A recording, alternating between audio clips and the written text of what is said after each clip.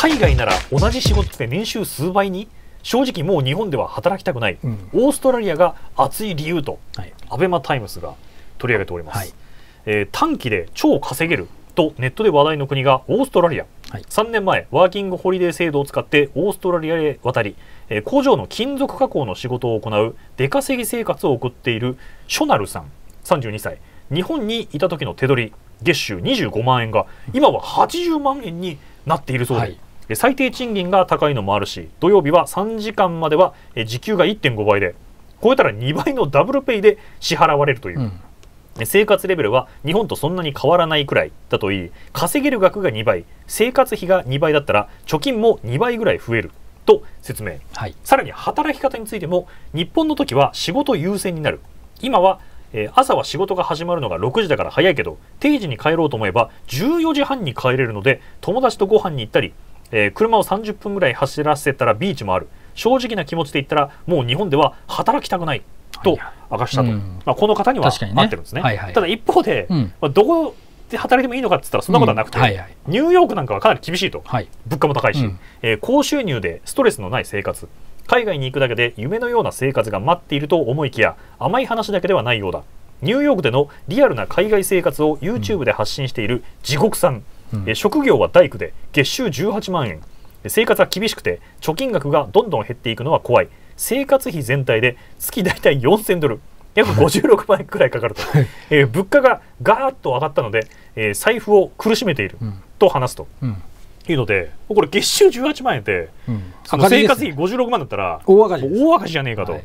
いうことなんですが、うん。ただこれ働いていくとうん時給がどんどん上がると。あはいはい、うん。だから。いうことなので、うん。まあ、何年か働くと、えーまあ、年収もどんどん増えるだろうし。ね、うん。言葉も覚えていくでしょうしね。そうですね。どんどんどんどんね、うん。はい、だからあのアメリカ人としてうん。あの扱われてね、移民でもあの給料上がっていくっていうのがあるからそっちにいるんだっていうことなんでしょね。そううですね、はい。まあ、ただ現状はかなり厳しい状況ではうん。あるし、はい。まあ、海外行ったら、まあ、なんか夢がつかめるのかっつったら別にそうでもないと、はい。うん。まあ、人によるというかそうですね。国にもよるし、まあ、完全に人によるしでしょうね、そこはあるかなと思いますけれども。そうですね、はい、でもこの、えーまあ、オーストラリアの、うん。えー最低賃金高くて、うん。土曜日は、はい。えーなんか3時までは時給1.5倍とか、うん。2倍のダブルペイで払われることもあるっていうのは、はいうん。これ以前我々もオーストラリア行った時に同じような話聞きましたもんね。全然ありましたよ。うん。あのーえっ、とレレストランで、うん。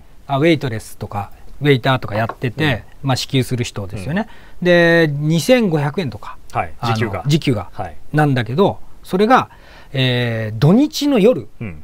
あのゴールデンタイム6時からうん。10時とかうん。までやるとそっちは時給が4000円とか4500円とかまで上がってるっていう、はい。だからそそれ聞いた時俺今から働くって思ったんで。ここで今飯食ってないで。俺ちょっと2時間ぐらいそこで。そうそれぐらい。めちゃくちゃいいですよね。うんちょっとすぐにあ1万あの3000、4000とか稼げるっていうぐらいのね、はい、そうね。そうそうそうはい。そうそういう場所ではい。いいなと思うんですけど、うん。まあ、やっぱりその物価の違いがうん。ちょっとこう、はい。まあ、日本とちょっと違う部分もはい。あったりするので,、そうですねでもやっぱオーストラリア成長してるしそう。まあ、人口も今増えてるじゃないですか、うん、そうそうそうそう。であれだけ広い国土があって、はい。まだそんなに開発されてない地域もあるのでそうですね。まあ、夢はありますよね。ありますね。あのオーストラリアの人たちが、あの肉体労働を嫌がってるんで成長してるっていうのも分かってるし、うだから肉体労働でいいやって人は、うん。めっちゃくちゃ稼げるはずなんですよ、うん。あの鉱山とか行って、うん。行くとあれもめちゃくちゃ稼げるんですよね、はいまあ、資源あるんで結構そうです。いうところで働くとか、はい。うん、いうのもありますもんね、うん。そうオーストラリアは何度か行きましたけど、うん。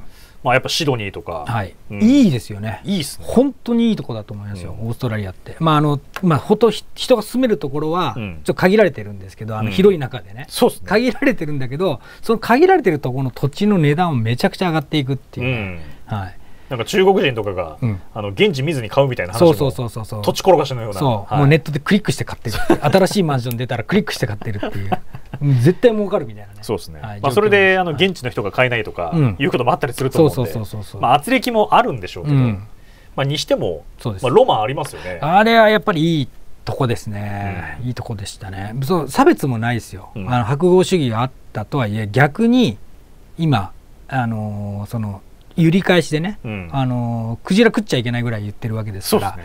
あのすごくあの人種差別はしないようにっていうのがすごくありますね、そうですね。前提として。はい。だから日本もしっかりあの賃金が上がっていくようなうん。形にしていかないと、はい、なかなかこう豊かにならないですよね。うん。そうそうそうだから賃金ないと物買えないわけですから、うん。今さまざまな物の価格って上がってるわけですけど、なんかマックのハンバーガーも上がるとか、はい。なんかスタバも上がったし、うん。あの牛丼とかもはい。なんか上がったりとかいうのがあるので、はい。まあ、そういうなんかび微妙にこう物の価格が上がる中で、賃金が、まあ、これ当然遅れてはくるんですけども、はい。遅れてでも上がってこないとうん。ちょっと厳しいのかなと、はい。ただやっぱ日本人ってうん。我慢強いので、そうです。それが良くないんですよ、うん。それが良くないんですよね。だからやっぱりちょっと あのーそういう体質余分にサービスしてっていう体質が、今の日本の悪いところに逆になっちゃったっていうところですね、みんなで黙って頑張ろうみたいな。うん。ところがちょっとそういうふうになってしまったのもあるしまあ僕はまあ前から言ってる通り、うん。あのクビにできるようにすれば、うん。これ変わると思うんですけどね、うん。あ結局今経営者って人雇ってクビにできないんで、うん。あのできない人にも給料払わなきゃいけないんですよね、うん。だからあの人事実上クビにできない体制なんで、えー雇った人の給料クビにできないから、うん。できる人にも給料上げることができないんですよね、うん。でアメリカも中国も経済成長したのはやっぱりクビにできるから、うん。あの採用できるんですよ。流動性があるし。そう。でん。引き抜かれたら嫌だから、はい。給料上げるわけですよ、うん。できる人に対して、はい。そこそこできればやっぱ給料上げちゃわないと引き抜かれたり転職されちゃうんで、うん。そのままあのになるんですよね、うん。ところがあの全体的にクビにできないわけだから、でまたあと人もあの労働者の方もうん。他社に行くのを嫌うんですよね、うん。あのできればずっと自分の会社にいたいっていうそのなんかねアメリカ人ははい。人生45回転職するって当たり前だっていうデフォルトなんだけど、うん。日本人って転職するとマイナスだよねっていう感覚があるから、あの転職しない。っうんていうのがそうこれもだから刷り込まれてきたもう長年のマインドなんですよね。そうそうそうそう考え方なんですよね。そうそうそう。だからそのダブルなんだよね、うん。だからあのクビにできるようにした方が、うん。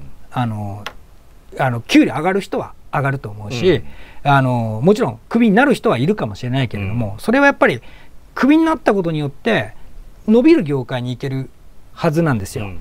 それは。例えばあの日本ってこの30年間の間に IT 革命があったんですよ。うんところがその時に本来 IT に行ってたらめちゃくちゃ稼げた人も三菱とかの古い会社にずっと残ってて、うん IT やらないまま終わってしまった秀才もいると思うんですよ。アメリカとかだったらあっちの方が給料上がるわけだから、うん IT に行こうってことでガソッと行けたりとかするんですけどそこが日本って優秀な人が伸びる業界にガサッと転職しなかったりしてる社会のダイナミズムがないっていう点もやっぱりあの問題だったんじゃないかなと、うん。だから銀行とかに行っちゃってね。あのどうしようもない業界なんですよ銀行僕は金融機関にいたから分かるけど、どうしようもないえー業界に優秀なやつがわーっと行ってたわけですよ。うん。あれが本来本当に IT とかうん。新しいサービスに行ってたら、あの何なんでしょうね、あの銀行とかの権威主義的な体質というか。そうそうそうそうそうそう。あれがだから、うん、まあ、今昔ほどじゃないと思いますけど、残っているんでしょうね。そうだから半沢直樹見たら分かるじゃない、うん。しょうしょうもない業界じゃない？はい。本当に。優秀なやつが上に上がっていけないし、うん。しょうもないことやってるわ能けですよ。力生かせてないんですよね。そうそうそうそうそう。だったらもう他のあの IT 企業がどんどん伸びるジャンルがね、うん。どんどんできたらいいんだけど日本の IT 企業伸びなかったのはやっぱ優秀な人が来なかったってういうん。のもあるっていうのはね,、そうですね。はい、そう窓口業務。そうそう窓口業務なんかいらないんですよ。あの3時に閉めるっていうのも変だし。ローンとか組む人っていうのは夜の8時ぐらいまでやって、うん。仕事が終わってからあの、えっとローンを組みに相談に行けるようにすべきだし、うん。それじゃないと時間ないですもんね。そうそうそうそうそうそう。だからなんか本当おかしなジャンルなんですよね